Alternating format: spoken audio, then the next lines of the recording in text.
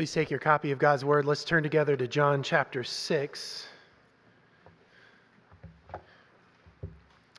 Our text this morning begins at verse 60 and runs to verse 71. And as you're turning, I express it for the whole congregation. Thank you, choir. That was fabulous. Thank you, Ms. Smith.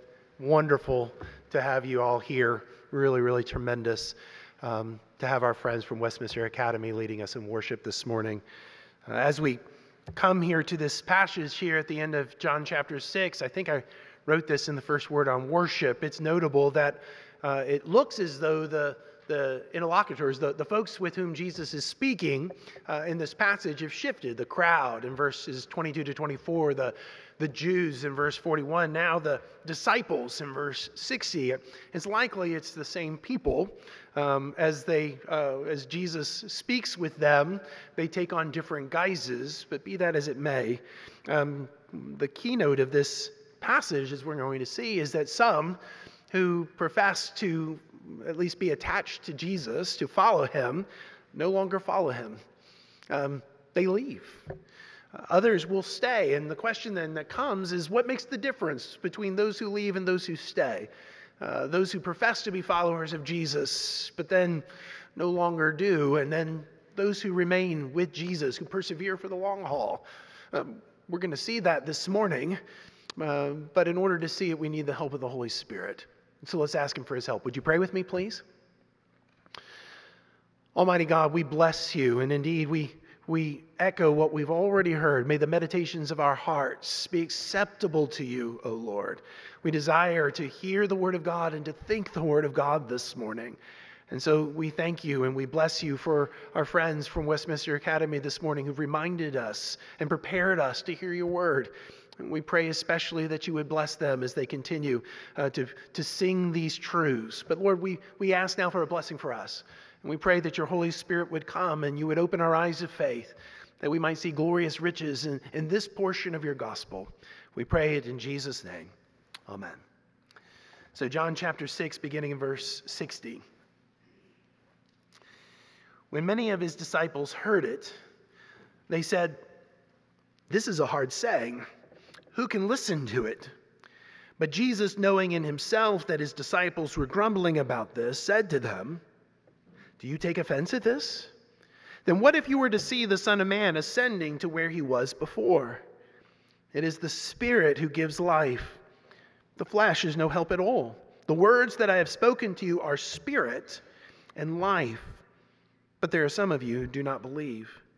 For Jesus knew from the beginning who those were who did not believe and who it was who would betray him. And he said, This is why I told you that no one can come after me unless it is granted him by the Father. After this, many of his disciples turned back and no longer walked with him. So Jesus said to the twelve, Do you want to go away as well? Simon Peter answered him, Lord, to whom else shall we go? You have the words of eternal life, and we have believed and have come to know that you are the Holy One of God. Jesus answered them, Did I not choose you, the twelve? And yet one of you is a devil. He spoke of Judas, the son of Simon Iscariot, for he, one of the twelve, was going to betray him. This is the word of the Lord. Thanks be to God. So, my kids will be probably the first to tell you that when I go out shopping, I don't really shop. Uh, their saying is, Dad doesn't shop, he buys. Uh, that's, that's really different from my dad. My dad will shop and shop and shop. Like he'll, if he's going to buy a product, he will, he will scour the internet, go to multiple stores and try to negotiate with the sales guy who has really no authority to lower the price on what he's trying to buy. Uh, that's not me. Um, I usually get it in my head that I want X, whatever X is, and I will go into the store where I think X is most likely to be, and I will go directly to the item and purchase it and leave the store as quickly as possible. There's a problem though, and that's sometimes I go to the store where I think X, whatever it may be, is likely to be, and they don't have it. And that begins what my kids will call the quest. Uh, the quest basically involves going to multiple stores where I think X may be, going directly into the store, looking for it, not finding it, and leaving it. And, and sometimes I'm successful. You go to four or five or six places and you finally find that thing you were looking for. But sometimes I have to get to the end of the quest and I realize, yeah, there's nowhere else to go. There's, there's no other place where I'm going to find this product. I still haven't found what I'm looking for, and the quest comes to an end. You know, whether you know it or not, we're all on a kind of quest. We're all looking for, for all sorts of things, but particularly we're looking for things like security and significance and value and meaning. And so we go to this place and that place and the other place where we think we're, we're going to find that thing we're looking for. And we try and try and try, whether it's in the workplace, and as we climb our careers, or whether it's in some special relationship that eventuates in marriage, or, or perhaps it's in our kids or in our grandkids, or maybe even it's, it's even in the service of the Lord and in the process of being in a church. And, and we think, oh, if I can just go here, then I'm going to find it. I'm going to find that which, which is going to bring my, my quest to an end. It was Augustine who said that, that we have restless hearts. Our hearts are restless, he said. I think it was an indication that we're all on a quest and we're all trying to find these, these things that we think we most desperately need. But what happens all too often? We go to this place and we go to that place and we try this thing, we try that thing, and what do we say? Yeah, I still haven't found what I'm looking for. Uh, there's no place else to go. I've, I've run out of places to find the solution to my deepest desires. And that's the rest of the quote from Augustine, isn't it? Those of you who know it. Our hearts are restless, O Lord, until they find their rest in you. I, I think ultimately what's going on in this passage our, our, disciples, followers, those who've been walking with Jesus at least since the end of John chapter 2, when they saw the signs that he did in Jerusalem and they, they saw the ways that he gave good gifts, there have been many who've been following him, thinking that perhaps by following Jesus, walking with him, they'll get the good gifts that Jesus gives, but they, they don't really want Jesus. And it's, it's part of their quest, isn't it?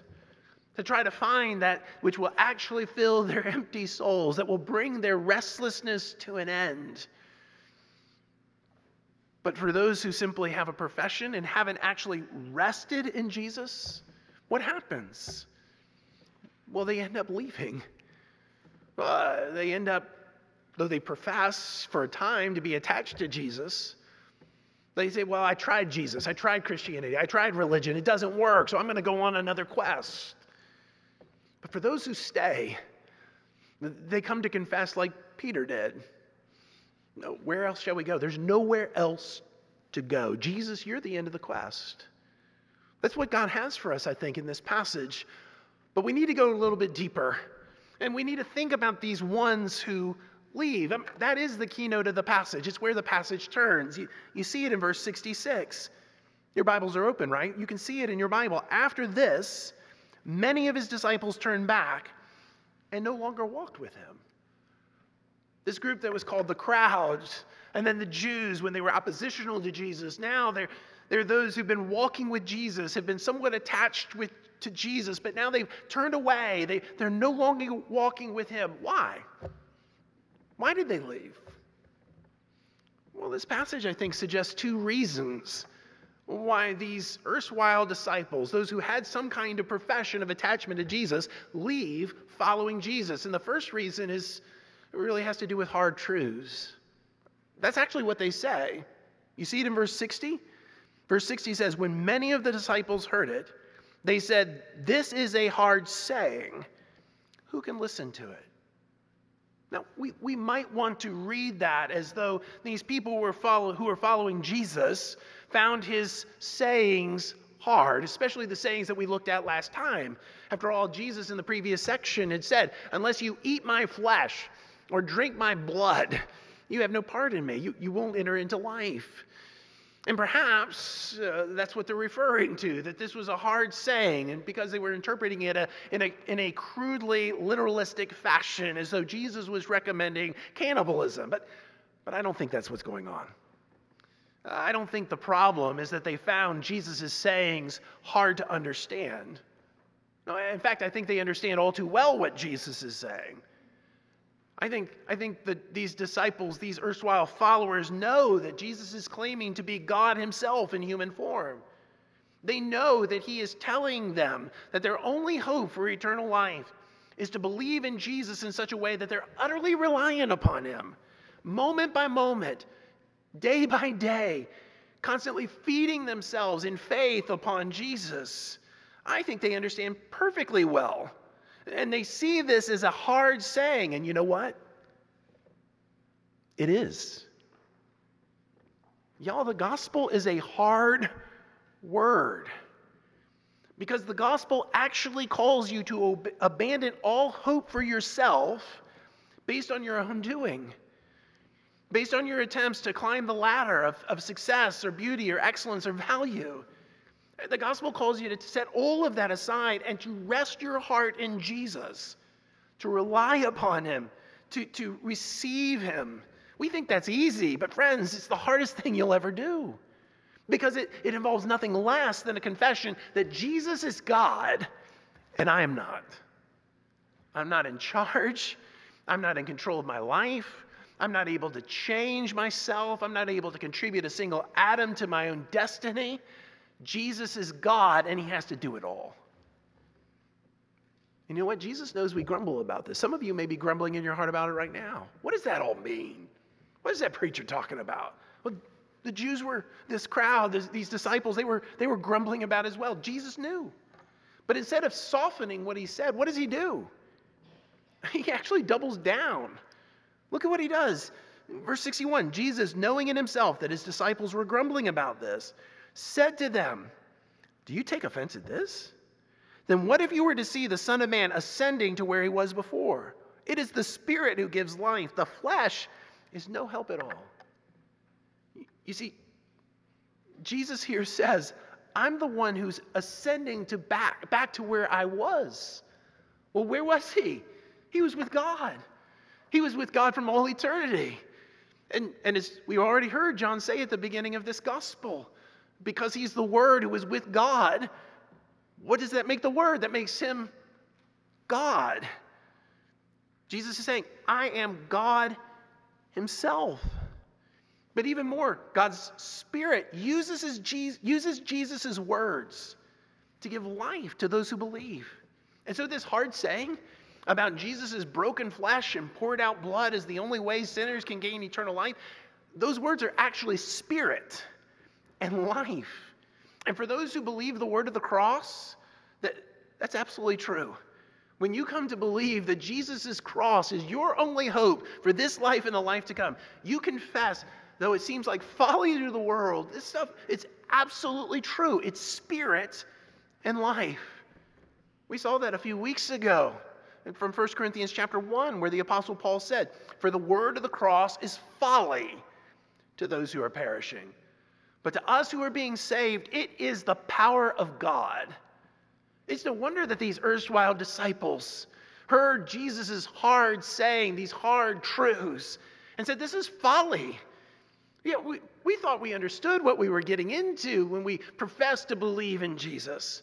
We thought we were getting good gifts, but, but Jesus is actually calling us to abandon ourselves to Him and to utterly rely upon Him and especially His violent death as the only way we're going to be saved, that's folly. We're gone. You see, for the ones who leave, they leave because the gospel is actually hard truth. But there's another reason here that Jesus gives why these leave. Not only hard truths, but, but ultimately hard hearts. You see what Jesus says in verse 64? Jesus says, But there are some of you who do not believe. For Jesus knew from the beginning who they, those were who did not believe and who it was who would betray him.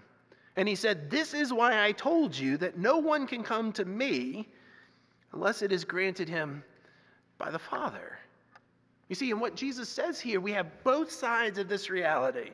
From the human side, the issue is that while, while they're, uh, well, uh, is that these erstwhile disciples did not believe. They've seen the signs, they've eaten the bread, they've heard the sermon, but they still do not believe. They've, they've hardened their hearts against the gospel. And even though they follow for a time, they, they're not genuine believers who exercise true faith. They had a profession of faith, but, but the reality of it was not in their hearts. But, but from God's side, the reason why their hearts were hard was because, as Jesus said, it, it was not granted from the Father for them to come to Jesus. And here's the sovereign purpose of God at work. And we might wonder how do we reconcile these realities, both of which are true? That, that their hearts were hard, that they do not believe, but but the Father is the one who did not grant it so. We wrestle with that, don't we? And yet, as important as those questions are, and in some ways they're less important than the existential questions of our own hearts. Namely, that, that we ask, what about my loved one who does not believe? Or, or what about my, my child who was baptized here in this church who, who doesn't believe? Or what about me? What confidence do I have that one year, three year, five year, ten years from now, that I'll still be following Jesus, that I'll still believe? I mean, that, those are the real questions. It's where the rubber meets the road. Well, here's where the rest of the passage, I think, gives us hope. Because it, it turns our attention from the ones who leave to the ones who stay. And, and it, it explains to us both what the difference is but also calls us to, to the, in the direction of what we're to do or, or where we're to go. I mean, Jesus turns to the disciples. After the, the disciples turn away, he turns to the, those who remain, and especially to the 12, and he asks them, Do you want to go away as well? Or another way you can render that, you don't want to leave also, do you? And the 12's response, given through Peter as, as their spokesman, it, it points us to the only place of hope.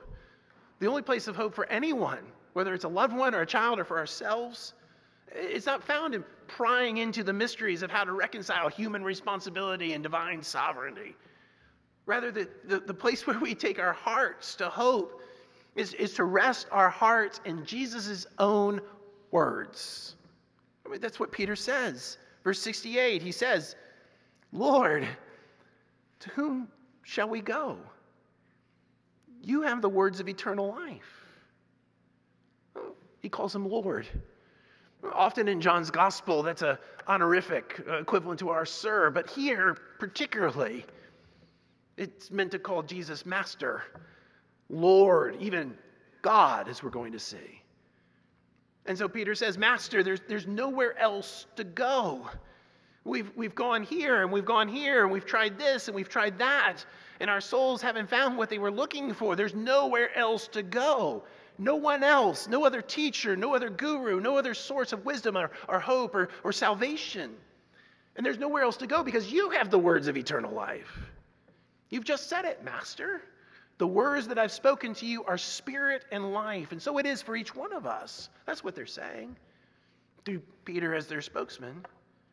And friends, that's, that's, our, that's your hope this morning for your loved one. That's your hope for your child. And ultimately, that's your hope for you. It's the word of promise, it's the words that Jesus speaks here. These words of life. Jesus is saying to you if you believe in him, if you, if you receive him, if you rest upon him, rely upon him, you will not perish, but you have everlasting life. You will live if you cling to the word of promise that we all know that it's more than a banner at a football game, that, that God so loved the world that he gave his one and only Son, that whoever believes in him should not perish but have everlasting life. And if you receive that word of promise and say, Yes, it's true and it's for me, these are words of life. You will live. If you see Jesus' death on the cross, his crucified flesh, his poured out blood as your death, as for you and for your sin, if you rely upon that death as though it were food to sustain you to eternal life, Jesus is saying to you, you will live. if you see him as death's conqueror, uh, submitting to the power of death for three days, only to emerge victorious from the grave, bodily, really, and for you, and you believe that because he lives, so will you, you will live. Friends, this word of the cross, this word of promise, Jesus extends to you as a gift. He extends it to you as grace, and all you need to do is to bring your quest to an end, is to stop running and receive it, is to rest upon this word of promise, is to rely upon it. But not only relying upon these words of promise, because, friends, Jesus' words of promise are actually meant to, to lead you to Jesus as the very word of God. I mean, that's the rest of, of Peter's confession that, that Jesus is ultimately God himself. You see what he says? Verse 69 Lord, to whom, to whom shall we go? You have the words of eternal life. Verse 69 And we have believed and have come to know that you are the Holy One of God.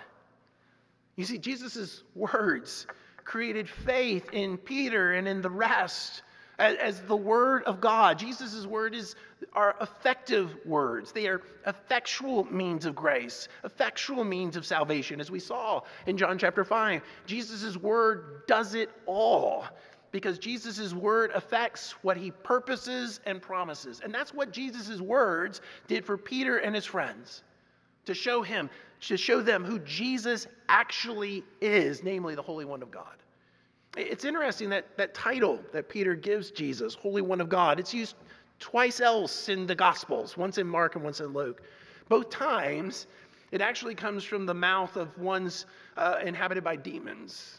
Those in the spiritual realm who actually knew who Jesus was in his full glory, they knew that Jesus was the Holy One of God. Here in John's Gospel, it's, it's used in, as equivalent to the other titles we've already seen that Jesus is the Word of God, that Jesus is the Son of God, that Jesus is the Son of Man. In other words, when, P- P- when Peter is confessing on behalf of the group that we believe and have come to know that you are the Holy One of God, they were saying, We believe, Jesus, you're God's own Son, that you are equal with God, and in fact, you are God's own self in human form. And the reason then, while these followers stayed, is because these external words of God, these words of promise given as gifts to us, that if we believe in Jesus, we will be saved, produced and sustained faith so that we might believe that Jesus is God's own self and a Savior for sinners like us.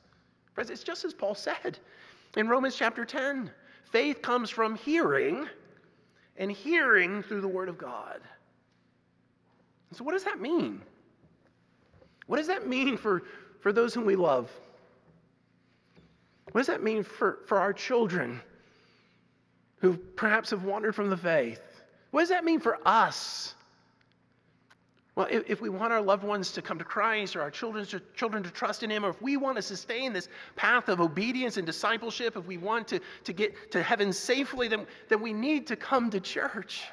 And we need to bring our children to church we need to come to that place where the words of Jesus are heard over and over again. Friends, if we want to trust in Jesus and continue to follow him, we need to remain in that place where we hear the words of Jesus repeatedly, regularly, weekly. Likewise, we need to reorient our lives around that place where we will hear Jesus' words repeatedly, regularly, weekly, so that when we move to a new city or we take a new job, we do so before we commit to moving or taking the job, we make sure there's a place where we're going to hear the words of Jesus over and over again. And we're going to commit ourselves where we live based on that place where we know that we're going to hear the, the gospel of Jesus again and again and again. We, we orient our lives around these words because these words are spirit and these words are life. I'm going to flip it around. If we absent ourselves from corporate worship, where the word of Jesus and the words of Jesus are preached to us, you know what's going to happen? We're going to find it increasingly difficult to stay. And we're going to find it much easier to leave Jesus and to leave those who follow Jesus. Our confession of faith actually teaches us that. That when we leave off uh, uh, the means of our preservation, this is the language it uses in chapter 17, paragraph 3 of the Westminster Confession of Faith. When we leave off the means of preservation, we're in great danger. We're in great danger that we may not persevere all the way to the end. It's because Jesus uses his words to lead us to himself as the Word. And so we need to be in that place where we will hear that Jesus is the one who dies and yet lives. You see, the cross is never far from Jesus, even here in John's Gospel. We, we hear about it implicitly at the end of the chapter. You see it in verse 70. Jesus answered them, Did I not choose you, the twelve? And yet one of you is a devil, or actually better, the devil. He spoke of Judas, the son of Simon Iscariot, for he, one of the twelve, was going to betray him. See, earlier in verse 64 in this section, there's a parenthesis where we're told that Jesus knew who it was who would betray him. But, but here at the end of the chapter, we're told explicitly who that someone was. It's Judas, the son of Simon from the town of Iscariot. He, as one of the twelve, would betray him, would deliver him over. And in fact, putting this all together, Jesus actually calls Judas the devil, the one doing the devil's work. And what was that work? To deliver Jesus over. To deliver him to whom? Well, to those who wanted to kill him, as, as chapter 5, verse 18 told us. To those who would rend his flesh like bread, and who would spill his blood like drink deliver him over to those who would crucify him. And yet, even this falls under the sovereign purpose of God and is under the control of Jesus because he's the one who chose the 12, which means he's the one who chose Judas. So that even this betrayal, even this being delivered over, even his death is under his own sovereign direction and purpose, which is nothing less than salvation. That his flesh would be rent and his blood would be spilt for you. Not just for the world, but for you. And so the question you need to ask yourself this morning is Are you ready to stop running? Are, are you ready to stop going to these various places where you think you're going to find that which your heart most desperately longs for, whether it's meaning or security or significance or whatever it may be? And you're going here and you're going here and you're going here and you're going here, and your heart still hasn't found what it's looking for. Yeah, you believe the kingdom is coming. You believe that reality is going to be shaped around this kingdom, but you still haven't found what you're looking for. Are you ready to stop?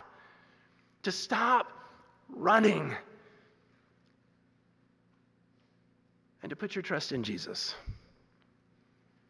To rest your heart and to rely upon Him, to feed upon Him and gain your nourishment from Him so that day by day, moment by moment, you might say, Jesus, you're my hope. The hope of, you're the ground of all my hope in this life and the life to come. I'm ready to be done running. I'm ready to bring my quest to an end. Will you say that this morning? Would you pray with me, please? Almighty God, we pray that you would do your work in our hearts and lives that are far beyond what we could ask or imagine. We know that for those who, who are resting their hearts in the words of Jesus and the, the Word who is Jesus, they'll not be shaken. Though, though life's storms come, though they might be plagued at times with doubts, in the end, you are the one who holds them firm. They've grasped hold of you only because you grasped hold of them first. But Lord, I do pray for my friends here today who perhaps have had a profession of faith but have been wandering around and they've been going to different places trying to, to bring their restless hearts to rest. Lord, I pray that today, today would be the day of salvation and they would rest their heart yet again in Jesus Christ. Grant us this grace, Lord, we ask. We pray it in Jesus' name. Amen.